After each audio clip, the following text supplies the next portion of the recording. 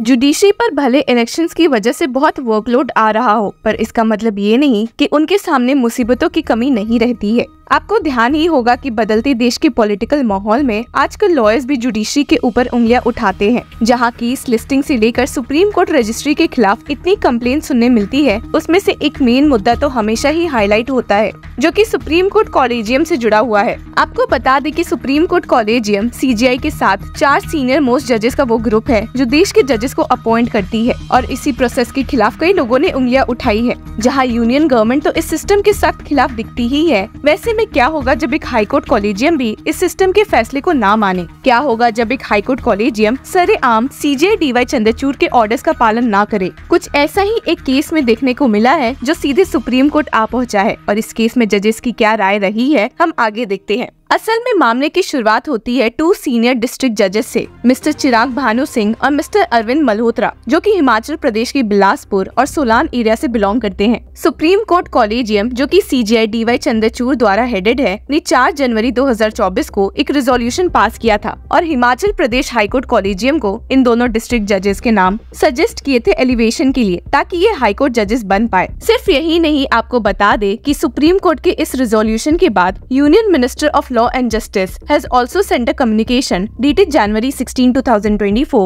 requesting the names of the petitioners to be reconsidered by the High Court Collegium. हालाँकि आप सुनकर चौक जाएँगे कि इतने recommendations मिलने के बावजूद भी Himachal Pradesh High Court collegium ने इन दोनों को एलिवेट करने से सख्त मना कर दिया जी हाँ आपने सही सुना C J I D Y Chandrachud के ऑर्डर के ऐसे खिलाफ जाने पर दोनों डिस्ट्रिक्ट जजेस काफ़ी गुस्सा हो गए और सीधे सुप्रीम कोर्ट के पास ये कम्प्लेन लेकर पहुँच गए। पिटिशनर्स की ओर से मौजूद होते हुए senior advocate mister Arvind P Dattar ने सुप्रीम कोर्ट में जस्टिसेस ऋषिकेश रॉय एंड प्रशांत कुमार मिश्रा को समझाते हुए कहा कि हिमाचल प्रदेश हाईकोर्ट कॉलेजियम ने न ही इन दोनों डिस्ट्रिक्ट जजेस को एलिवेट किया है, बल्कि इनसे कई जूनियर लोगों को एलिवेट कर दिया है और हिमाचल प्रदेश हाईकोर्ट के चीफ जस्टिस को फटकारते हुए कहा। They have recommended the names of the officers much junior to me I have got an unblemished service record in light of the directions of the honourable supreme court collegium and the request by the Honorable Law Ministry. These names should be considered for elevation when you issue fresh consideration for elevation. What they say is resolution of January 4, please consider their names afresh. They are not even being considered. हालाँकि ये allegation सुनकर justice Rishikesh Roy ने कहा कि उन्हें पहले इस मामले में एक पूरी डिटेल जाँच करनी पड़ेगी और ये भी देखना पड़ेगा कि आखिर क्या सोचकर हिमाचल प्रदेश हाईकोर्ट कॉलेजियम ने इन दोनों डिस्ट्रिक्ट जजेस को एलिवेट नहीं किया है and stated at the first instance let us try to find out whether at all the matter was processed on this letter referred to at page 11, whether it was part of the attention of the Chief Justice of High Court and the Collegium there. हालाँकि ये सुनकर senior advocate दत्तर ने कहा कि और कुछ नहीं तो इस केस में supreme court bench at least एक नोटिस तो इशू कर ही सकती है हाई कोर्ट के रजिस्ट्रार जनरल को ताकि वे एक रिपोर्ट सुप्रीम कोर्ट बेंच को दे सके इस मामले में इस सजेशन पिटीशन से अग्री करते हुए सुप्रीम कोर्ट बेंच ने अपना ऑर्डर पास किया और स्टेट किया। Mister Arvind Dattar would submit that the Himachal Pradesh high court collegium on twenty third April two thousand twenty four has recommended the names of two judicial officers for elevation as high court जजेस without first considering the recommendation of the supreme court collegium and the letter of the law ministry for reconsideration of the two petitioners it is reiterated that the two petitioners are the senior most judicial officers and if the recently accommodated judicial officers are considered for elevation, it would cause serious prejudice to the expectations expectations of the petitioners who have an unblemished service record as judicial officers. Order में आगे ये भी state किया supreme court की bench ने that noticing the contention by the two petitioners at this stage notice be issue to the registrar general of the Himachal Pradesh high court so that appropriate information can be given to this court on whether the High Court Collegium had reconsidered the cases of the petitioners pursuant to the Supreme Court's resolution dated 4th January 2024 and the Law Minister's communication dated 16 जनवरी 2024 आपको बता दे कि अपने plea में petitioners ने अपने elevation के साथ ये भी मांग की है कि Himachal Pradesh high court collegium द्वारा नेम्स रिकमेंड करने पर एक स्टे लगा दिया जाए, जब तक कि सुप्रीम कोर्ट इस मामले को सुलझा न दे and the plea stated the process adopted by the high court collegium stand procedurally and substantially vitiated and is contrary to established constitutional convention the action of high court chief justice and the collegium is thus liable to be set aside आपको बता दें कि इस मामले को supreme court bench ने 15 जुलाई के लिए लिस्ट कर दिया है और उसके बाद ही पता चलेगा कि इस केस में क्या अपडेट मिल सकती सकती है। पर जैसा कि आपको ध्यान भी होगा, ये पहली बार नहीं है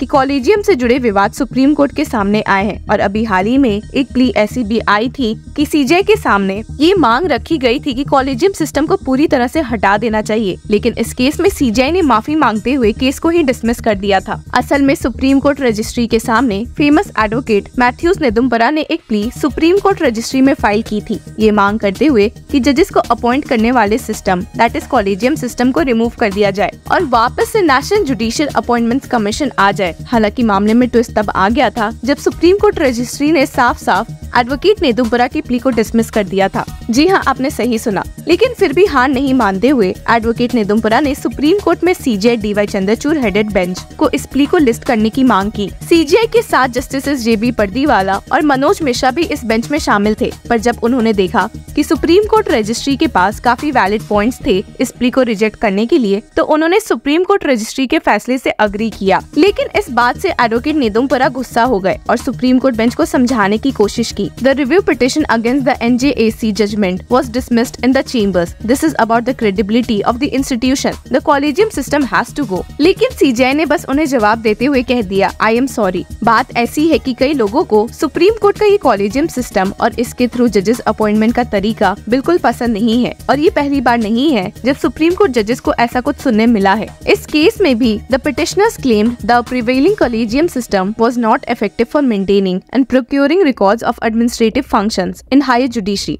nor it is effective. So, as to apprise the general public about the candidates who have been appointed to Supreme Court. सिर्फ़ यही नहीं, पर उन्होंने दावा भी किया था कि जजेस को अपॉइंट करने का कोई फिक्स तरीका भी नहीं मौजूद है they claimed the collegium system resulted in denial of fair opportunity they also maintained the constitution 99th amendment act and द NJAC Act were the will of people in a matter which fell in legislative and executive domain and was not justiciable. पर इन्हीं सब कुछ basis पर supreme court registry ने इस case को list करने से ही मना कर दिया in a six page order supreme court registrar Puneet Sehgal, explained that the collegium system had already been upheld, while the NJAC, which gave an equal role to the government in judicial appointments, had been struck down. By a constitution bench in October 2015. A review plea against the judgment was also subsequently dismissed in 2018. और असल में petition जो कि advocate Mathews निदुमपुरा द्वारा filed है, बहुत ही पुराने और सिमिलर इश्यूज़ उठा रही थी इसलिए ही सुप्रीम कोर्ट रजिस्ट्री ने इसे डिसमिस कर दिया mister Sehgal stated it is critical to ensure litigants do not